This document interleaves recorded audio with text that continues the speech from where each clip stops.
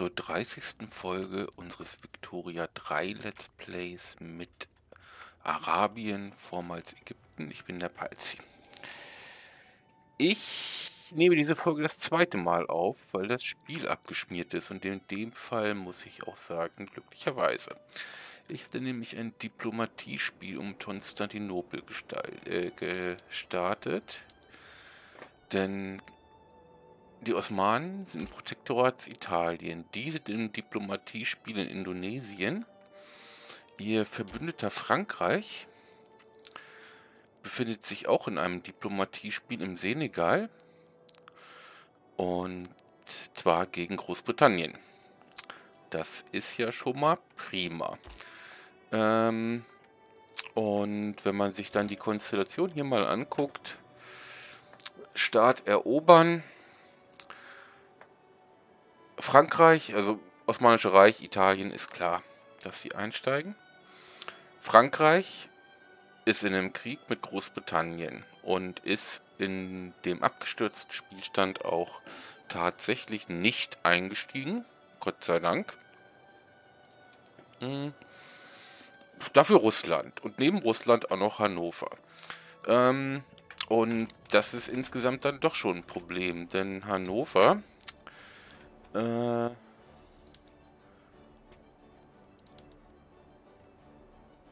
Ist zwar auch noch auf Linie. Achso, wie viele Regimenter haben die?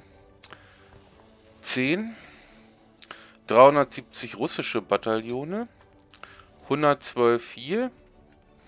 Das heißt, wir sind jetzt Pi, Pi, mal Daumen bei 500 und dann noch die 125 vom Osmanen. Ohne Wehrpflichtige. Falls die einberufen werden, dann halt nochmal mehr, insbesondere bei Russland nochmal 400. Ne? Das heißt, das ist eine ganze Latte. Aber wie ist das gelaufen? Ähm, wir haben fünf Generäle. Ich habe, wie gehabt, den großen Nilgeneral hier in die Front. Das hat da auch ähm, recht gut geklappt. Wir hatten hier unten Gebietsgewinne. Ähm, ich habe den Arabien-General hier an die Konstantinopel-Front gesetzt und die anderen dann noch ein bisschen aufgeteilt äh, und äh, dabei aber auch den einen General zurückgehalten für Marineinvasionen. Marineinvasionen gehen aber gar nicht. Russland hat 179 Flottillen und da kommen wir nicht gegen an. Also da ist nicht eine Marineinvasion durchgekommen, die ich versucht hatte. Und Kriegsverlauf war, wie gesagt, hier Gebietsgebinde, hier statisch. Hier an der Front äh, war es so, ich weiß nicht, ob das dann einfach nur, äh, nur, nur, nur Pech war oder ja, ANG, wie es so schön heißt. Aber ähm, wir sind nicht in Konstantinopel reingekommen. Ganz im Gegenteil, sind zurückgedrängt worden, sodass sich äh, diese Front nach Konstantinopel mit der vereinigt hat. Und dann ist lange Zeit, so dass es halt hier wirklich eine Front war, und dann ist lange Zeit nichts passiert, bis es in Österreich einen Aufstand gab. Da hat dann der Russe ähm, seine Truppen abgezogen, um Österreich zu unterstützen. Und äh, tatsächlich dann hier ein paar mehr Gebietsgewinne gemacht. Hier war es immer noch statisch. Und ähm, mit bisschen Glück dann tatsächlich hier die zweite Front, äh, äh die dritte Front. Es waren ja dann zwei, eine hier, eine da. Und hier ist die dritte Front wieder aufgegangen. Ähm, das ist aber so spät passiert, dass dann der Österreich-Krieg vorbei war und der Russe wieder zurückkam und dann tatsächlich mit 370 Bataillonen in Konstantinopel stand. Ja, in der Zeit natürlich, wir haben keinen Ticking War Score gekriegt, dadurch, dass Italien ähm, als Kriegsziel ausgegeben hatte, einen Vertragshafen in Hüderwendiga, haben die äh, Ticking War Score gehabt, sodass das halt insgesamt sehr schlecht aussah und dann ging Gott sei Dank, äh, hat sich Gott sei Dank das Spiel verabschiedet. Und ich äh, habe nicht davor zurückgeschickt, äh, die Autosaves nicht zu reaktivieren. So, ähm, Während des Krieges, was ist auch noch passiert? Ähm, es gab auch noch zwei Rückschläge und zwar einmal Charles-Marie Napoleon de Beaufort d'Aupoul ist gestorben. Und das wird einfach nicht angezeigt. Also hier ploppen wegen des, während des Krieges so viele Anzeigen auf, dass ihr eure Generäle nicht mal richtig seht, oder ich in dem Fall. Und auch unser Arabien-General ist gestorben. Und das hatte ich auch nicht bemerkt. Deshalb sind die nämlich auch überhaupt hier erst rübergekommen. Naja, Moral von der Geschichte ist, wir brauchen definitiv äh, zwei Generäle jeweils an den Fronten und einen da. Sollten aber nichtsdestotrotz, da Frankreich im Diplomatiespiel gegen Großbritannien ist, die Gunst der Stunde zu nutzen versuchen und hier das Diplomatiespiel starten. Ähm, durch die durch den Krieg, die äh, Flottenüberlegenheit, werden wir auch keine Rohstoffe mehr reinkriegen. Das wird alles äh, zusammenfallen. So. Ähm, wir haben hier im Hauptquartier 90 Truppen. Und das reicht einfach nicht. Das hier mit Zansch ist verkehrt. Ich weiß nicht, was der Müll soll. Anatolien haben wir einen. Und der reicht auch aus. Stufe 1, um die zu kontrollieren. Der 19er ist im Nil-Hauptquartier. 19 und 60, das heißt die, die 90 werden nicht mal ausgenutzt. Das heißt, ich bin gewillt, den sogar noch zu befördern. Dann haben wir jetzt nämlich 36, 54. Und die beiden, er ist Offensivplaner. Ebenenkampf haben wir an der Front nicht. Aber der kann dann, na, der kriegt Offensive, Defensive, aber in der Heimat. Den können wir dann auf Verteidigung setzen, während wir Fuad Altavari hier hinsetzen, um anzugreifen. Ähm, Arabien. Der Araber wird zusammen mit dem anatolischen General hier an die Freund kommen. Das ist, er ist Offensivplaner und er allerdings auf. Was ist mit Fefsi Farid? Der ist Defensivstratege, der soll aber die andere Front hier halten. Ähm, bin aber gewillt, beide noch auf 20 Truppen aufzurüsten. Dazu müssten wir ein paar Kasernen noch bauen. Und zwar hätte ich gerne hier unten ein paar mehr. Wie sieht denn das aus? Sortieren wir hier mal wieder nach Bauern. Falls du bescheißt. Ja, ich weiß. Muss man aber. Und zwar mit Altklick. In Uganda können wir einen. Und dann mach hier noch... Haben wir irgendwo keine Grabenbruch?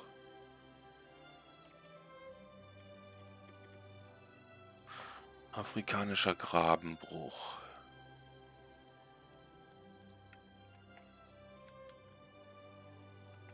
Brauchen ja noch drei jetzt. Also einen in Kasembe, einen in Lindi, einen da, einen da. Ne, das sind genau fünf, dann geht das auf 20. Und dann hätte ich aber gerne in Anatolien auch noch ein paar. Denn das sind mir zu wenig.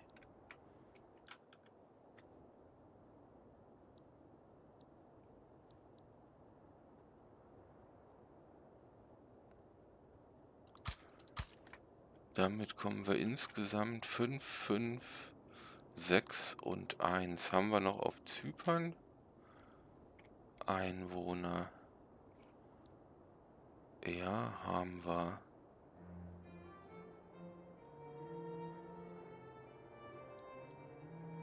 Wie sieht denn das in Adana aus? Adana hat eigentlich genug. Dass wir hier zumindest mal 18 Truppen haben. So. Die sollten jetzt alle vorne stehen und kommen auch. Möchte aber, dass die afrikanischen zuerst kommen.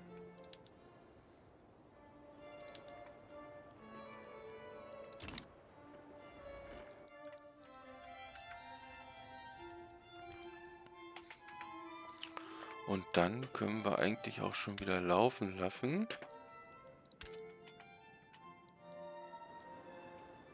Abmarsch.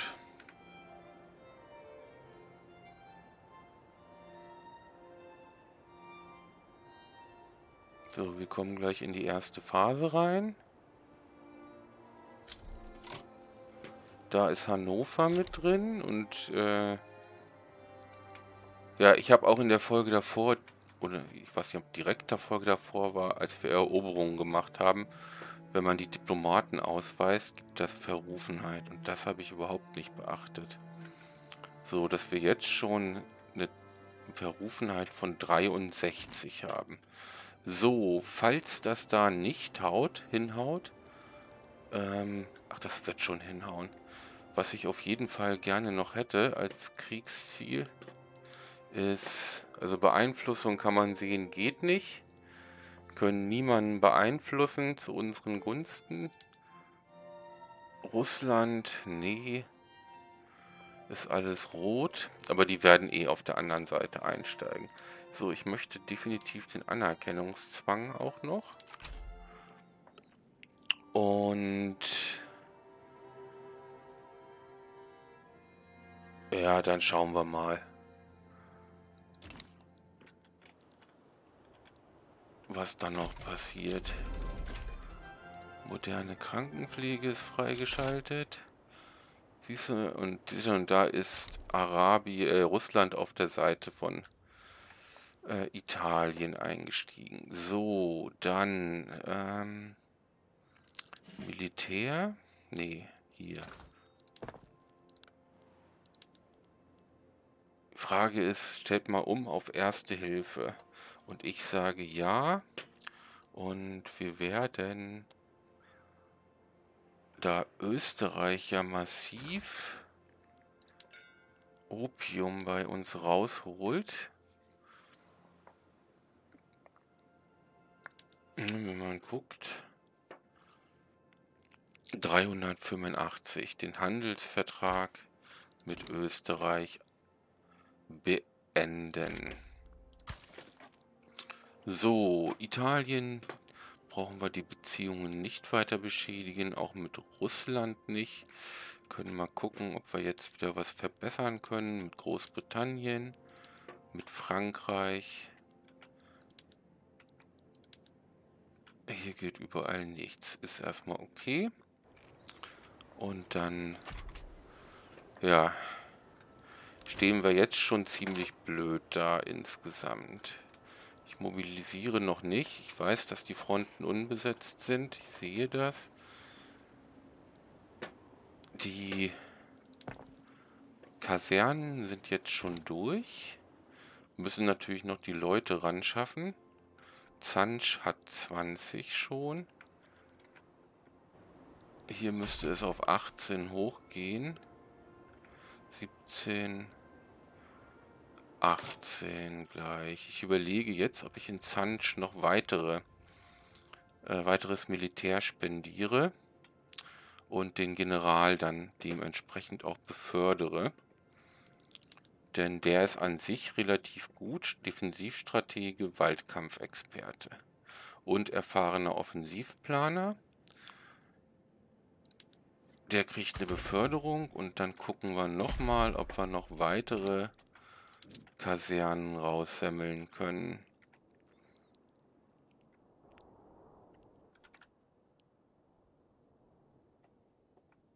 Eins, zwei, drei, vier, fünf, sechs, sieben, acht. Ups. Acht. Kasernen nochmal. Und Grabenbruch hatte wie viele Leute? Nicht so viel. Das waren acht, aber gib mir noch mal zwei, bitte. Dann haben wir da zumindest eine 30er Armee noch.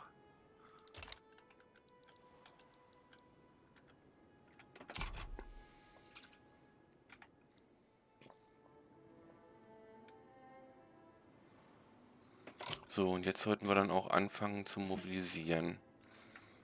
Hm. Du bist der Araber. Oder fangen wir einfach hier an. Du bist der Ebenenkampfexperte und kannst eh nichts reißen. Du bist erfahrener Offensivplaner am Nil. Und du wirst hier die Front voranbringen. Während Charles-Marie Napoleon de Beaufort du Pool die gleiche Front verteidigt. Ne? Wenn dann da jemand stirbt, wieder ohne dass ich es merke, dass da auf jeden Fall Sicherheit da ist. So, du bist ähm, der Zanschmann und du wirst diese Front einfach nur verteidigen. Dann haben wir noch den in Anatolien. Der soll da verteidigen. Und unser Araber da voranbringen. So, dann weiter.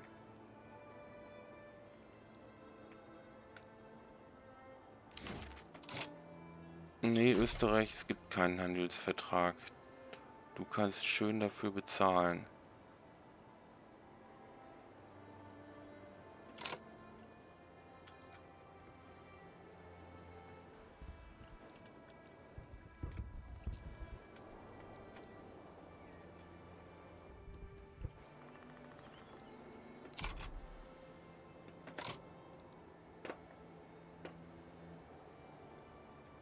Wir jetzt schon, oder habe ich da... Oh, ich habe die Kriegsreparationen mal wieder verpasst, ne? Na, egal. Da habe ich nicht aufgepasst. Jetzt müsste es dann jeden Moment losgehen. Was ist denn versprochen worden? Italien hätte wieder gerne in den Vertragshafen, wie beim letzten Mal. Und Russland hätte gerne einen Vertragshafen in Sansibar.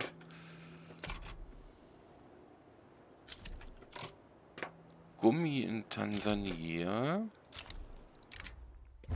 Wir haben in Tan Tanganyika erfolgreich Kautschuk angebaut. Etwas, was angesichts der Empfindlichkeit der Bäume und der schwierigen Bedingungen, unter denen sie wachsen, außergewöhnlich ist. Na dann bitte Migrationsanziehung. So, und jetzt geht's los. Wie gesagt, wir haben überhaupt keine Chance auf See. Das heißt, da lohnt es sich gar nicht, irgendwas zu probieren. Wir müssen einfach nur hoffen, dass da mit den Fronten alles glatt geht. Und jetzt, ihr seht es, das ist jetzt aufgepoppt. Dadurch ist alles nach unten gerutscht. Das Schlechte an der UI ist, die kann man nicht ausblenden. Gut, den können wir hier wegmachen. Krankheiten unter den Verwundeten. Die Zahl der Todesfälle unter den verwundeten Soldaten durch Krankheiten ist in die Höhe geschnellt. Minus 20% Genesungsrate oder unter Ägypten erhält höhere Sterblichkeit. So, und immer wenn jetzt hier was aufpoppt, auch hier die Beziehungsverbesserungen kriege ich im Moment nicht weg. Das heißt, die könnte ich natürlich wegbekommen, möchte ich aber nicht.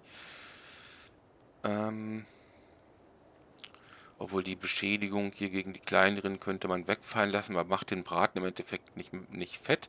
Wir haben dann hier zwei Bewegungen, die kann man nicht ausblenden lassen. Und sobald hier jetzt äh, Nachrichten aufpoppen, sehe ich nicht mehr, wie viele Generäle ich habe. Also das ist echt eine mittelschwere Katastrophe hier.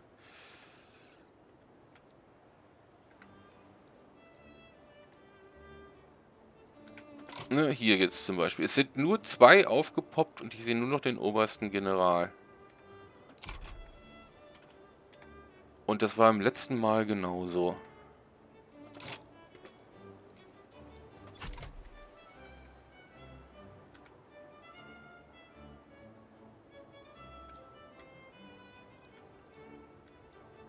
Passiert hier an irgendeiner Front irgendwas? Gummi in Kasembe? Eigenes Gummi. Wir haben in Kasembe Erfolg. So, das hatten wir, glaube ich, schon. Ne? Hier, Migrationsanziehung.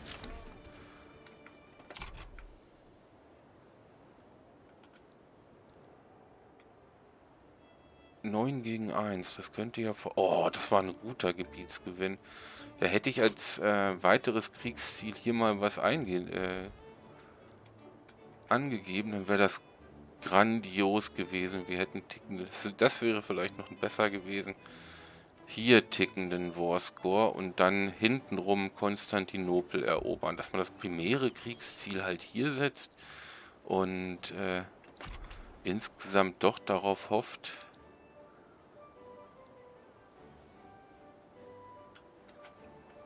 dass man irgendwie durchkommt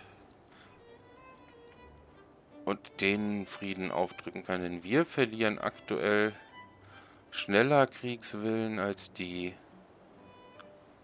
11 gegen 15.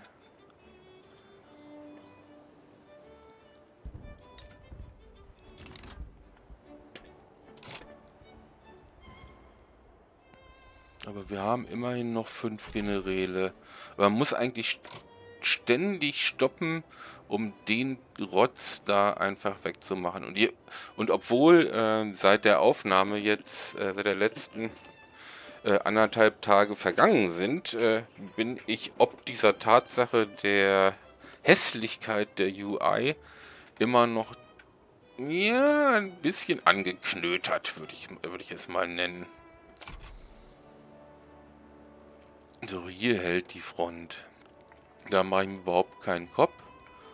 In Österreich hatte ich eben Radikale gesehen, aber noch keine Revolution. Ja, und hier ist jetzt... Wer hat denn da was erobert? Da ist irgendwas erobert worden von irgendjemandem. Jetzt sind sie da raus und äh, ja, die große Scheiße beginnt. Wir verlieren ganz schnell Kriegswillen.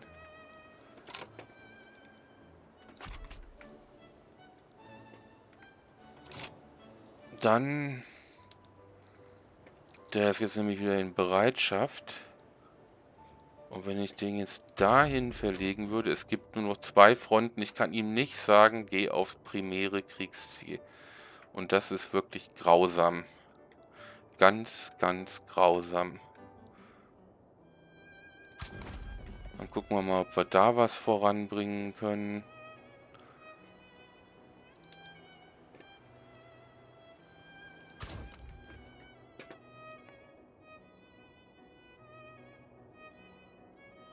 Ibrahim Bey, hat er irgendwelche Offensiv?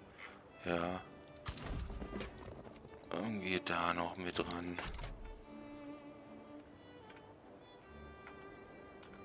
Das wird auch schon wieder ein Schuss in den Ofen, würde ich sagen. Zumal ähm, Italien jetzt ihr Kriegsziel äh, haben und auch noch Ticking War Score kriegen. Wir werden jetzt nämlich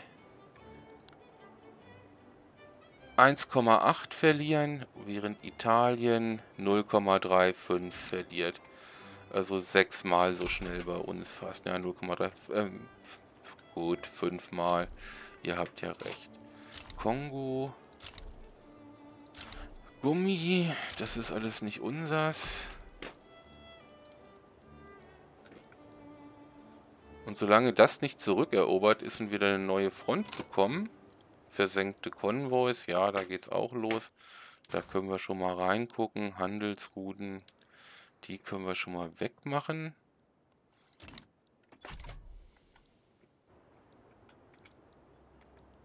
Ich meine, wir können uns das alles leisten. Wir sind echt richtig gut dabei. Finanziell, aber... Ja, aber...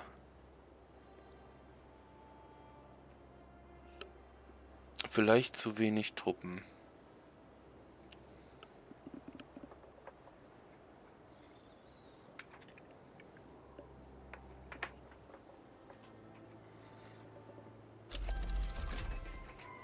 Schichtarbeit, mir egal. Das Duell.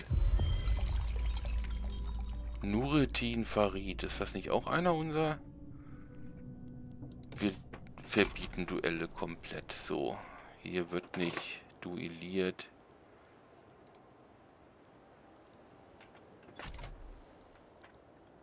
Und hätten wir hier Ankara ausgegeben als Kriegsziel, dann hätten wir nämlich Ticking War Score.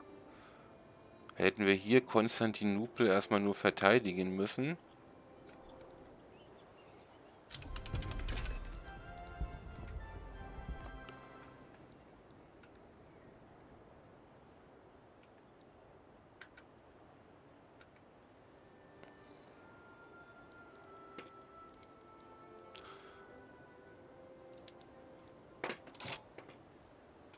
Man kann es ja noch mal probieren.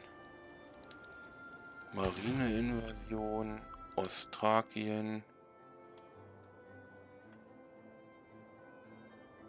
Ach nee, nee, nee, nee, nee, nee, nee, nee, nee. Lass das mal. Ibrahim Bey ist ja unser Anatolienmann. Den setze ich auch auf Front verteidigen.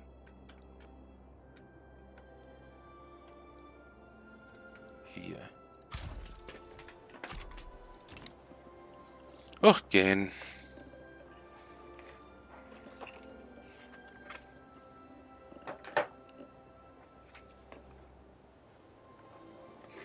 Mhm.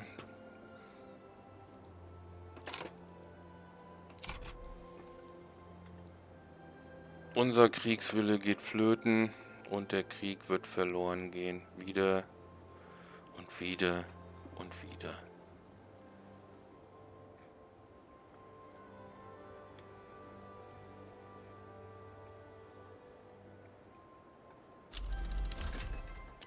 Dampfhilfsaggregate. Ähm. Was hatte ich denn beim letzten Mal genommen? Stromerzeugung oder Pferdekopfpumpen?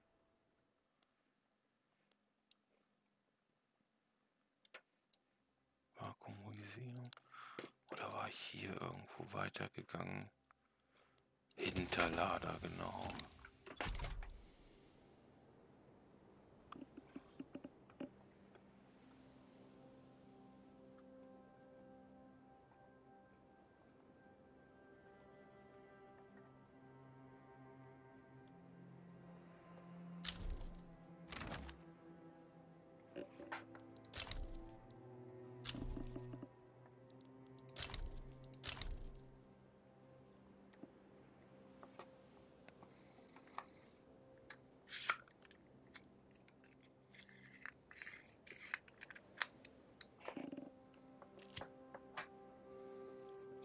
'Medizinische Sauberkeit'. Man hat vorgeschlagen, dass einige der Krankenschwestern, an der Front des derzeitigen Kriegs Arabien gegen Italien dienen, neue Prozeduren in Sachen Reinigkeit übernehmen, die Zahl der Todeszelle zu verringern. Nur Aleppo? Ne, hier ganz Arabien sind zwar dann nur 10%, aber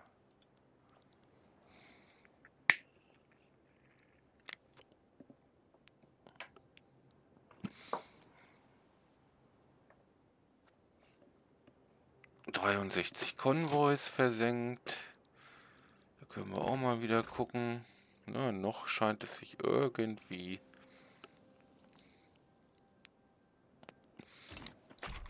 zu rentieren. Und solange sich das rentiert und wir noch ein bisschen im Plus sind, ist es okay.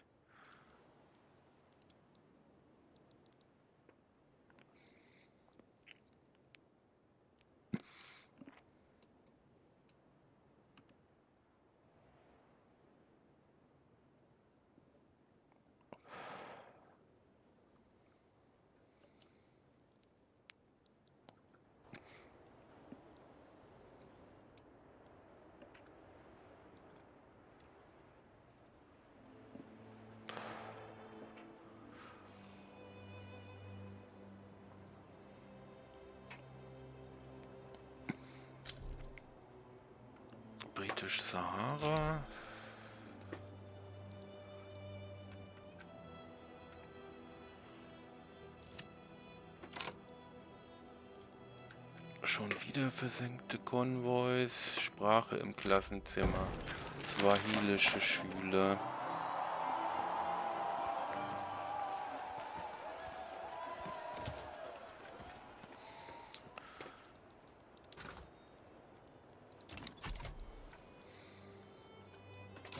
Da, ein General ist gestorben. Das ist genau das, was ich meine. Welcher ist gestorben?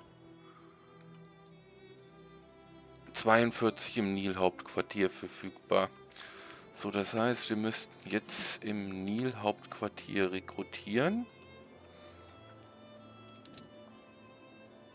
Nil. Waldkampf, standhafter Verteidiger, traditionalistisch.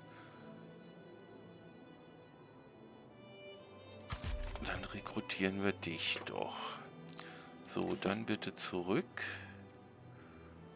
Das heißt, die müssten jetzt 2 zu 1 aufgeteilt sein in etwa.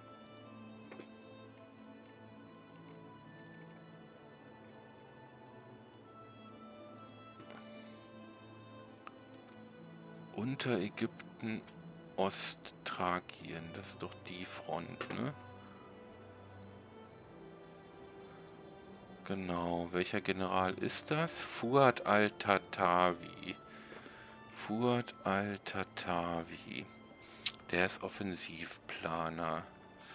Dann bekommt der ein mehr. Und der andere, den wir gerade neu rekrutiert haben,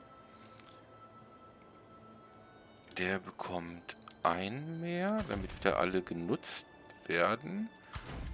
Den rekrutieren wir mit Front verteidigen hier. Und ab.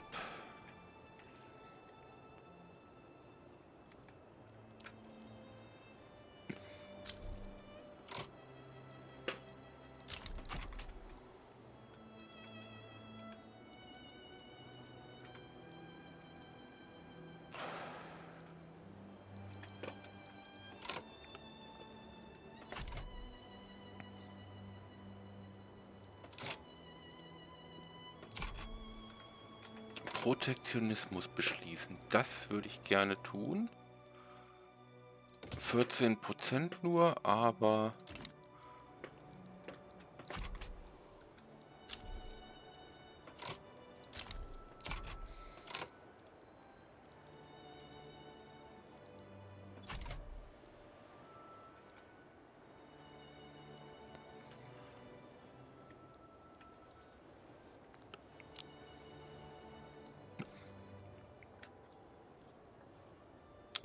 Regierungsdefizit 134. Warum haben wir da so viel Defizit aktuell?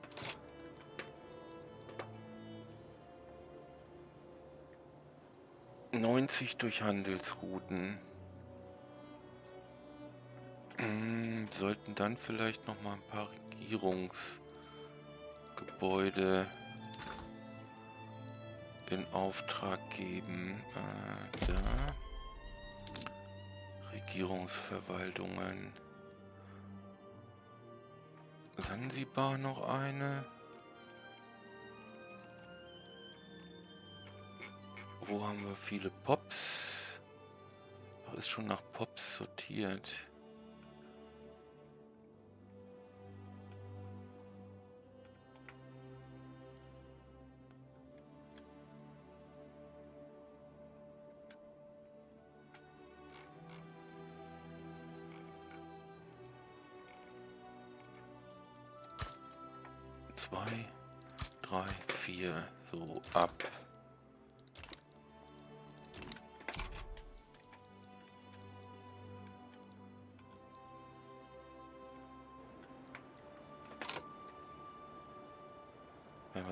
Den Frontverlauf an, das ist hier doch... Naja. Nicht drüber nachdenken. Schade, es gibt die Revolution in Österreich diesmal nicht.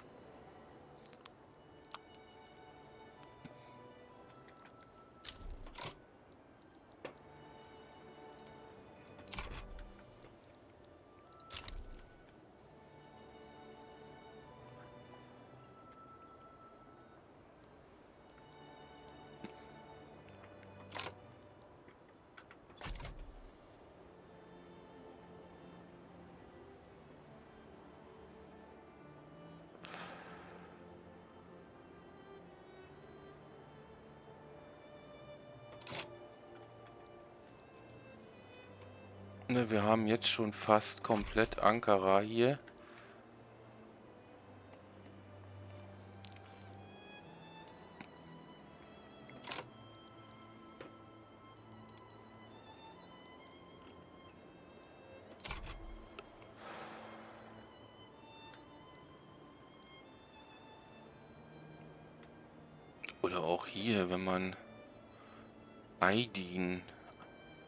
Ausgegeben, aus, äh, ausgerufen hätte.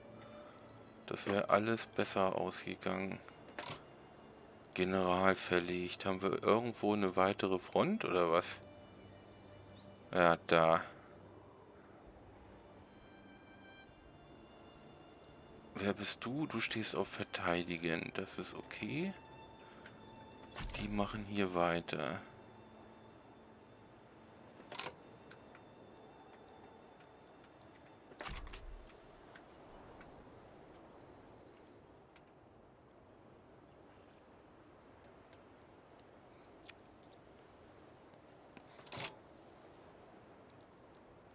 Importroute für Artillerie abgebrochen und jetzt wird es nämlich kriminell.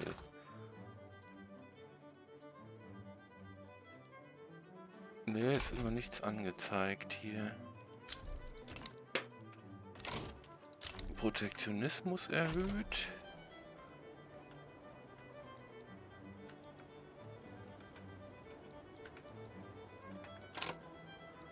Jetzt ist aber auch irgendwas passiert.